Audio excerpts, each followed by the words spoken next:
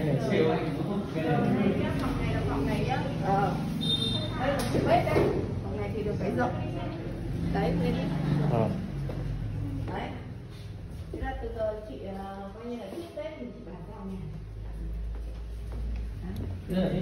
bếp bếp thế chị để lại toàn bộ đồ đấy tại vì chị lên chung cư à. chị ở trên chung cư rồi ừ. thế bây giờ lên trên tầng này chị lên trên tầng đi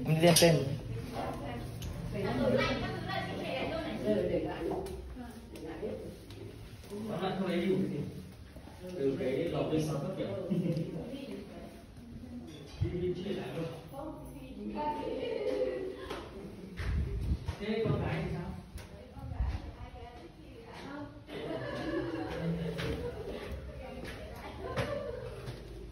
Để con gái cũng để lại luôn thì tốt rồi. Cái này còn đồng tiền này em.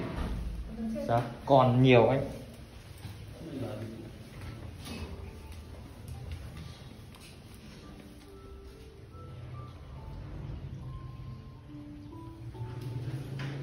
Anh, xem xem tí.